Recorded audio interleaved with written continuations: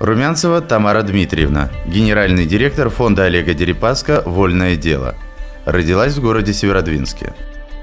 Окончила Архангельский государственный педагогический институт имени Ломоносова по специальности «Русский язык и литература», Ленинградскую высшую партийную школу, Российскую академию госслужбы при президенте Российской Федерации. С 1969 года учитель русского языка и литературы. В 1989 году Тамара Дмитриевна возглавила работу по созданию Северодвинского гуманитарного института Поморского государственного университета имени Ломоносова. С 1990 по 1997 декан Северодвинского отделения и директор Северодвинского гуманитарного института. С 1997 по 2004 заместитель главы администрации Архангельской области по социальной политике. Румянцева Тамара Дмитриевна является членом Общественного совета по качеству образования при Рособорнадзоре, членом попечительского совета Московской школы экономики и Высшей школы государственного администрирования МГУ имени Ломоносова, член Президиума Всероссийской общественной организации Всероссийское педагогическое собрание. При ее активном участии создавался Архангельский научный центр Уральского отделения Российской академии наук и продвигалась идея создания и становления Северного арктического федерального университета имени Михаила Васильевича Ломоносова. Награждена орденами почета, дружбы народов, знаком почета, знаком за заслуги перед Северодвинском.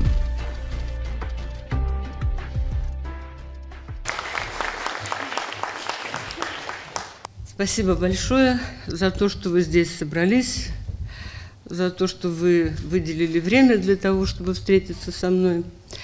Вообще я должна сказать вам, уважаемые студенты и преподаватели, э, вот, лицом к лицу лица не увидать, естественно, а когда человек приходит немножко со стороны, особенно если он э, видит э, каждый день немало других университетов в разных частях страны.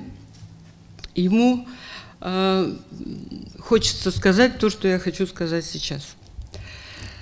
Э, я думаю, что обществом в основном Архангельской области еще не осознано то, что оно теперь имеет в лице Северного Арктического федерального университета. Тот прорыв, который область осуществила благодаря тому, что в ней появился такой университет, и за вот эти последние годы он оснащен настолько, что мечтать об этом даже еще в недалеком будущем, э, прошлом было нереально. Это действительно нереально. То, что сегодня такое богатство, огромное, находится, располагается на территории Архангельска, это просто, вот знаете, многолетняя мечта многих людей, руководителей области, руководителей учебных заведений. Вот это сегодня есть. И когда я ходила в очередной раз по фундаментальной библиотеке, я говорила, что сюда надо привести Виктора Антоновича Садовничева, ректора МГУ, потому что в МГУ нет ничего подобного. Нет ничего подобного, понимаете? И э, вот это богатство, которым располагаете теперь вы, его теперь нужно с умом использовать. Я думаю, что вы тоже сами еще не осознаете, сколько возможностей открыто сегодня для того, чтобы добывать знания. Это есть где и есть откуда. Я очень просто горжусь э, теми людьми, которые сделали эту трудную работу. Мы э, всегда, опять же, не имеем пророка в своем Отечестве, не любим э, человеку говорить э, даже иногда то, что он заслужил.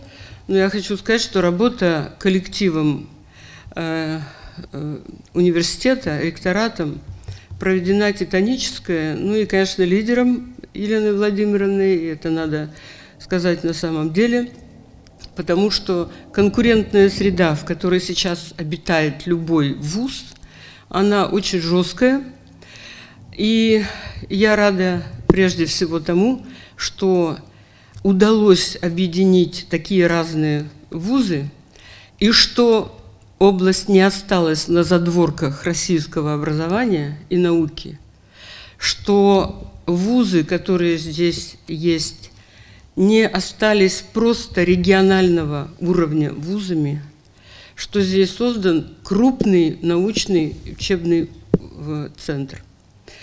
И что это федеральный университет. Значит, федерация, значит, страна наша э, знает э, и заботится будет – Хотя, конечно, надо много усилий еще прилагать к тому, чтобы по-настоящему САФУ заработала и на области, и на страну.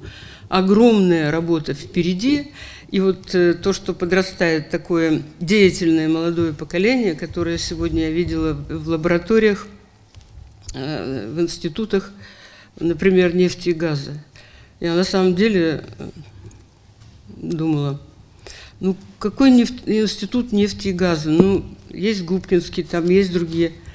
Ну как здесь можно за короткий срок создать институт нефти и газа? Потрясающие лаборатории совершенно. И не имеют таких лабораторий э, университеты московские. Вот, может быть, благодаря тому, что это новое образование и были вложены достаточные средства, но важно было их вовремя взять и потом с умом, э, так сказать, использовать. Это все сделано. Я вас вот просто поздравляю с тем, что теперь у нас в Архангельской области это все есть. Спасибо всем огромное. Конечно, я не буду читать лекцию, мы с вами будем разговаривать. Я сейчас уже 12 лет скоро представляю третий сектор. А вы знаете, что ну, если так условно поделить э, любое государство на какие-то сектора укрупненно, то это власть, это бизнес или экономик, ну, то, то что хозяйство составляет. И это третий сектор, это некоммерческие организации. Те самые некоммерческие организации, которые во взаимодействии с первыми двумя секторами немало делают сегодня в нашей стране. За последние 15 лет некоммерческий сектор вырос, ну просто он вырос, он теперь огромен.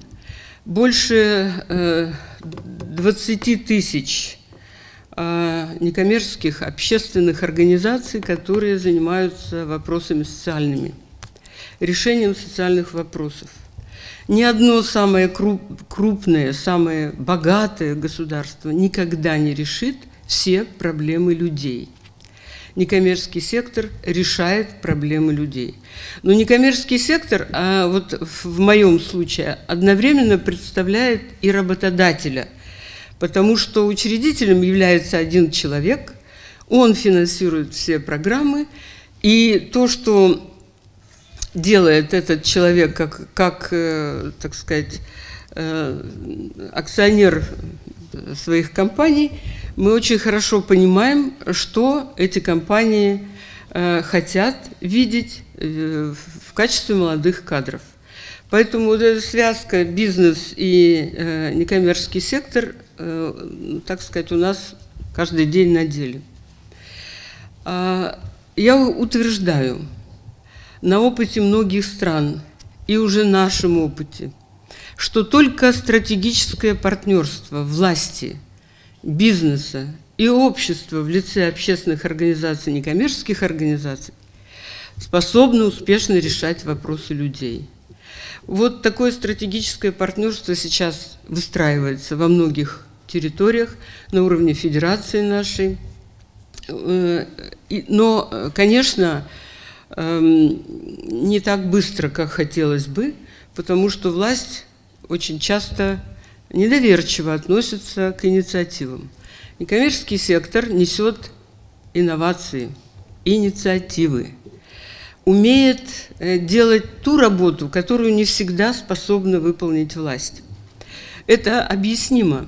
У власти немножко другие, э, немножко э, задачи более приземленные и более количественные, нежели качественные. У некоммерческого сектора как раз качественные задачи. Какие именно? Один, один из принципов работы некоммерческого сектора таков. Если куда-то пришли деньги, направленные этим некоммерческим сектором, там должно случиться что-то хорошее, там должен появиться положительный результат. Лучше, если качество, возникло новое качество, и лучше, если для большого количества людей. Еще один принцип – это вовлечение большого количества людей в любой проект, в любую программу, которую осуществляет некоммерческая организация или фонд. Вовлечение и одновременно обучение их тому, что делает э, вот э, этот проект, какую задачу он решает. И э, еще один принцип такой. А, поскольку, как говорят у нас здесь, дармовое не ценится, то обязательно, когда осуществляется какая-то программа или какой-то проект, те люди, на которых направлен вот та, так сказать, целевая аудитория, а, они тоже должны вложить что-то в реализацию этого проекта в виде, э, там, в виде какой-то работы сделанной, в виде каких-то э, организационных усилий, в виде ну, даже э, иногда каких-то материалов, если надо что-то построить. Э, и тогда, когда это э, усилия двух сторон, это всегда э, получается, во-первых, лучше, а во-вторых, бережнее потом сохраняется. И еще один принцип. Если осуществлен проект, программа некоммерческой организации, и она завершилась, вот ее э, длительность была год, например, или два, или пять лет, и она завершилась, а организация некоммерческая уходит с этой площадки, будучи совершенно уверенная, что процесс, который там запущен, необратим. То есть результат должен быть длящимся, длительным. И тогда только это действительно качественно меняет какую-то какую проблему. Я немножко расскажу о том, э, что делает фонд э, поддержки социальных инноваций «Вольное дело», э, который тоже существует уже около 15, 15 лет – и работает на 22 территориях Российской Федерации. Самая главная наша задача, как мы ее видим и как видит ее наш учредитель, учредивший этот фонд тогда, когда ему было 37 лет. Он понимает, что все начинается в школе, и от школы, общеобразовательной школы, все и зависит. Поэтому основные средства мы вкладываем в образование – считаем, что это правильно. А, особенно это правильно сейчас, потому что меняется поколение учителей, которому очень нелегко а, работать э, в современных условиях, тем более, что профессия учителя в определенные годы потеряла э, престижность. И э, если мы сейчас не поможем российской школе и не сделаем так, чтобы и учителю, и ученику в школе было интересно, захватывающе, удивительно и э, так далее, то мы потеряем и вузы, и потеряем и промышленность, и потеряем все. Поэтому мы придаем воспитанию э, э, школьников и учителей большое значение. Делаем это красиво, интересно, захватывающе. Ну, вот эти цифры. Э, вот эти программы.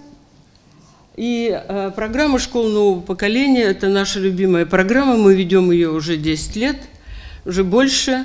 500 э, у нас э, э, учебных э, заведений, 49 здесь, это 490 должно было быть, а не 49.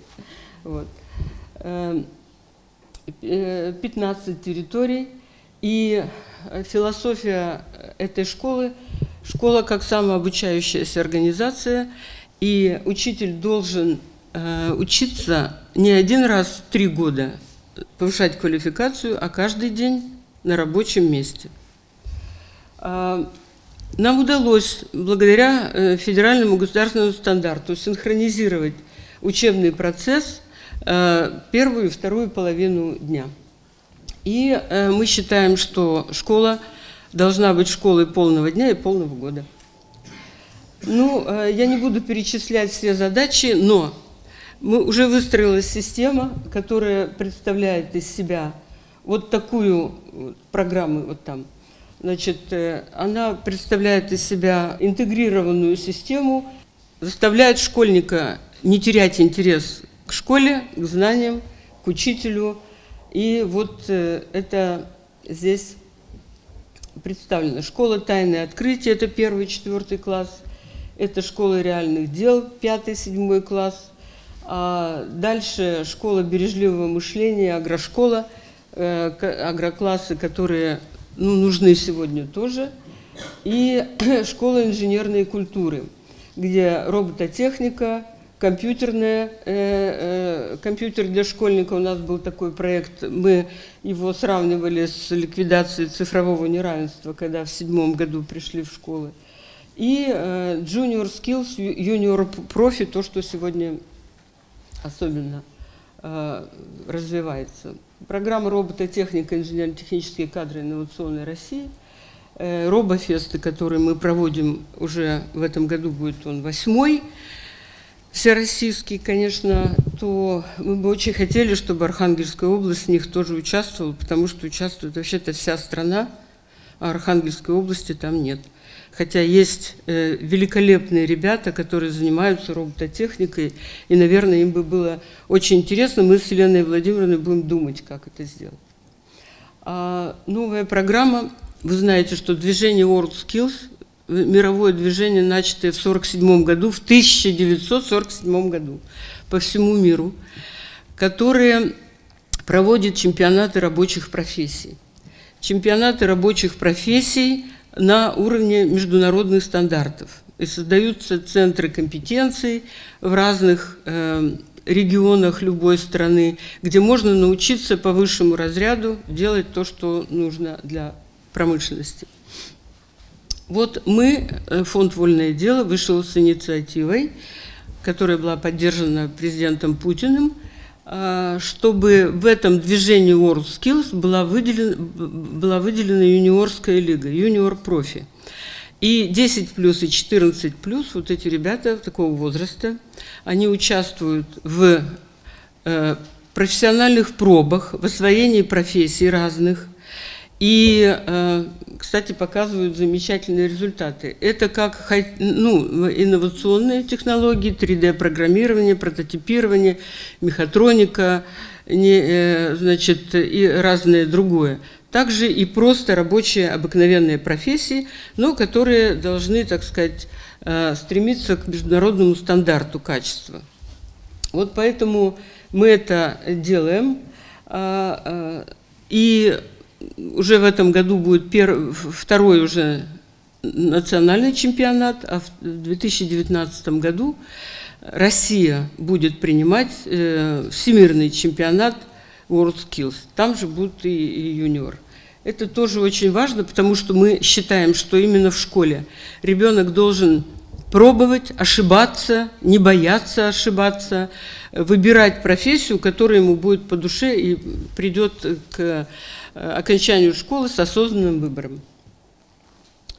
А, поддерживаем, естественно, вузы, работаем прежде всего вот с ведущими вузами. Мы создали там две школы.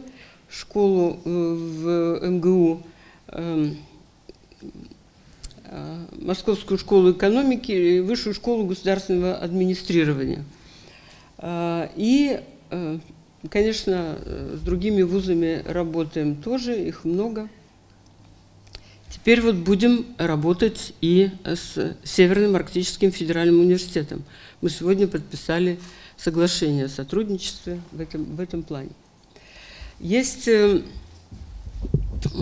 такая японская система Toyota Production Systems.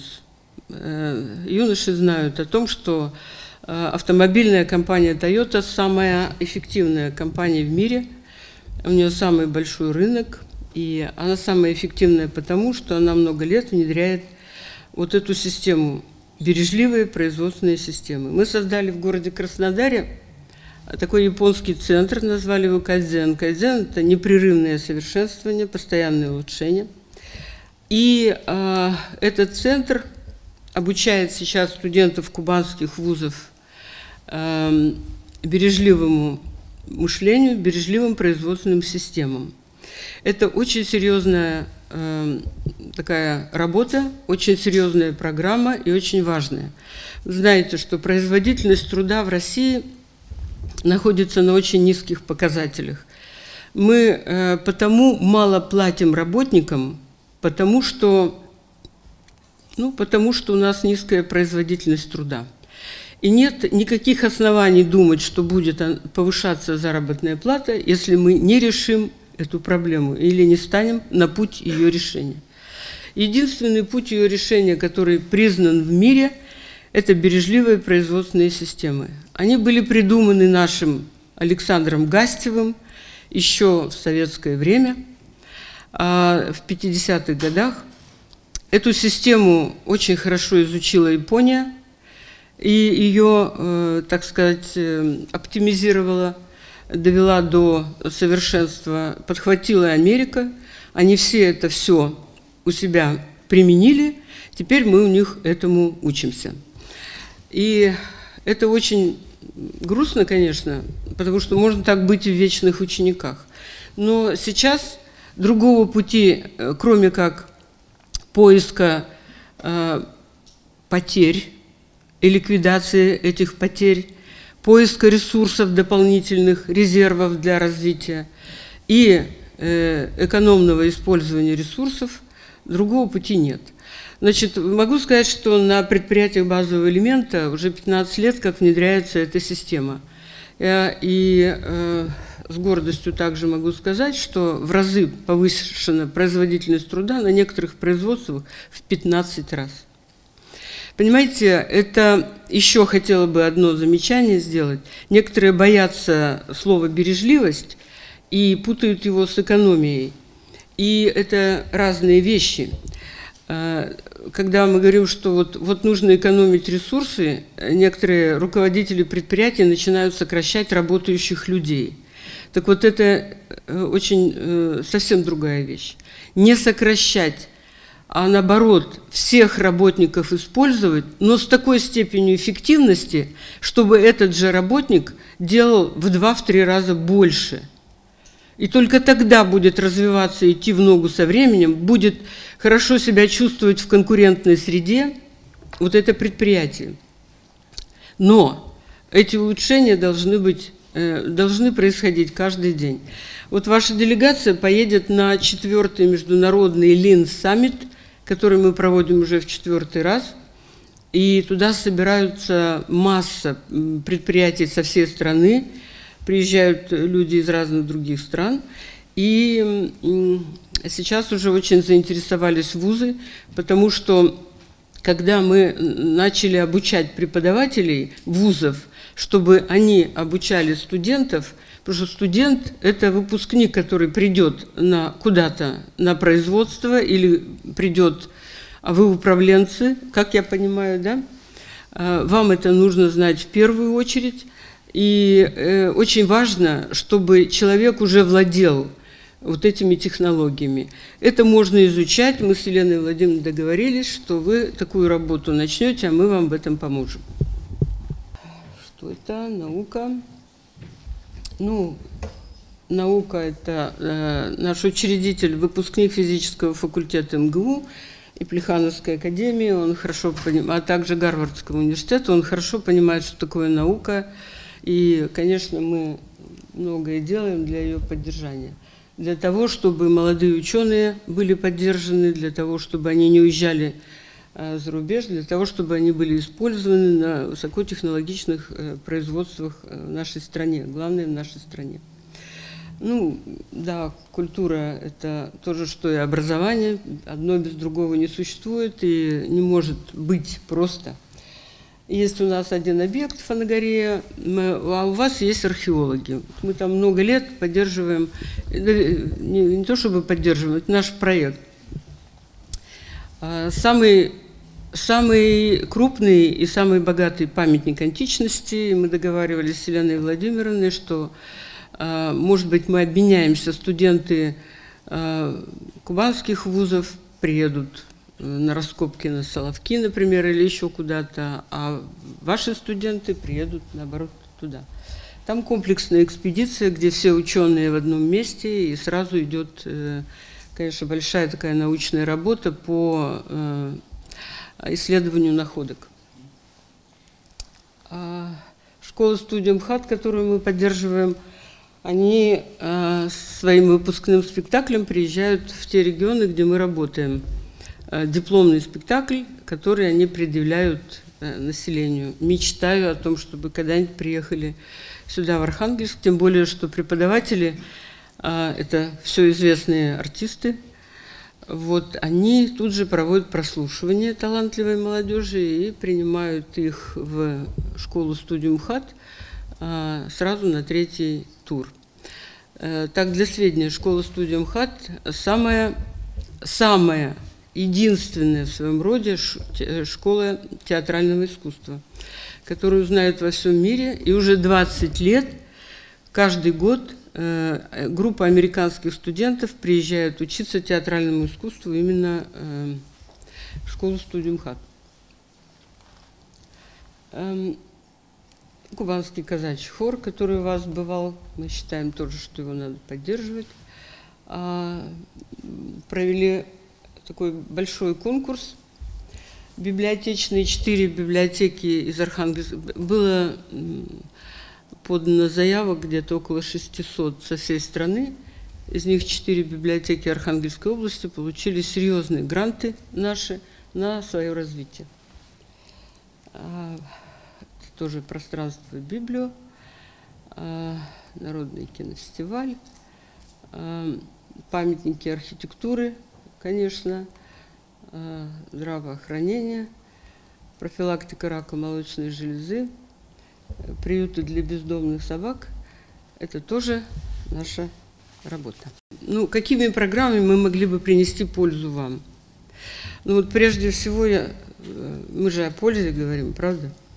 А прежде всего мы хотели бы с Еленой Владимировной вот вместе действительно начать обучение Э, бережливым производственным системам, чтобы именно из э, университета пошел импульс по всей области на э, понимание бережливости и того, что надо делать, какие ресурсы мы не видим, какие потери мы Э, с ними миримся и ходим по кругу, у нас ничего не улучшается. Мы сидим на огромных богатствах Архангельской области, но этого не чувствуем, потому что это на нас не работает.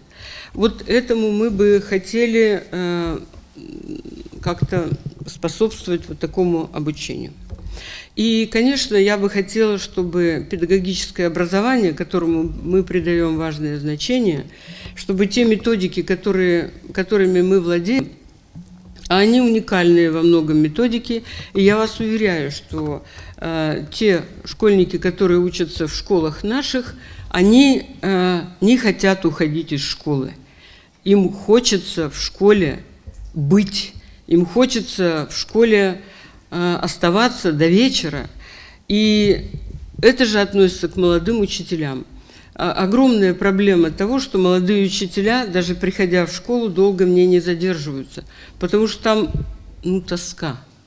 Там усталые женщины, мужчины, ничего не происходит, много рутины и так далее. А можно с теми же самыми людьми организовать дело так, что это будет интересно, захватывающе и познавательно. Если бы вы видели, какие проекты делают э, э, ребята там 7, 8, 9, 10 класса, когда идет экономическая игра, вот в летней школе или э, там в весенней, осенней школе, какие экономические проекты с маркетинговыми исследованиями, с просчетом всей экономики, с так сказать, с возвратом кредита, который им дали, с всем этим. А, это очень интересно, и это очень, опять же, так сказать, развивает а, эту часть нашего населения, которая скоро придет в вузы, в том числе.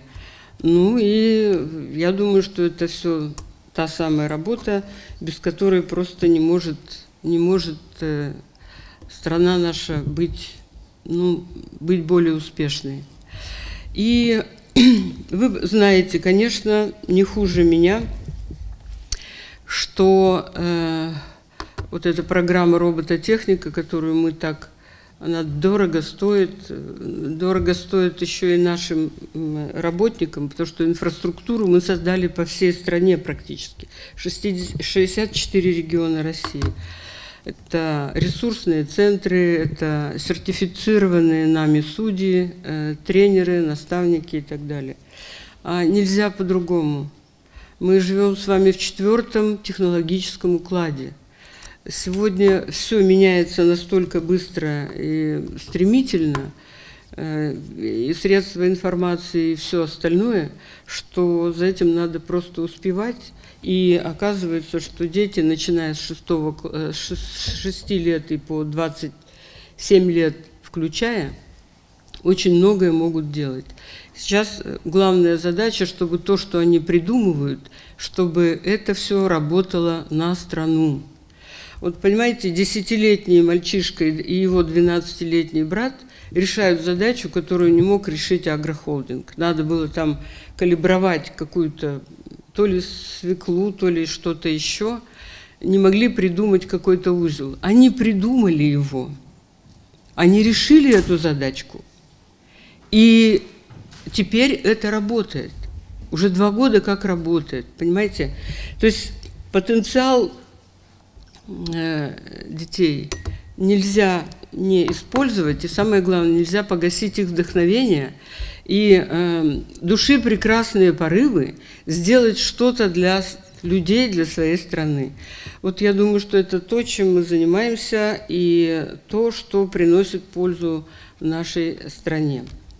Поэтому давайте работать вместе, давайте будем друг у друга учиться, давайте будем э, ну, воспринимать опыт друг друга, все лучшее, чем мы владеем, все методики, которые у нас есть, мы все готовы, всем готовы поделиться. Спасибо вам за внимание.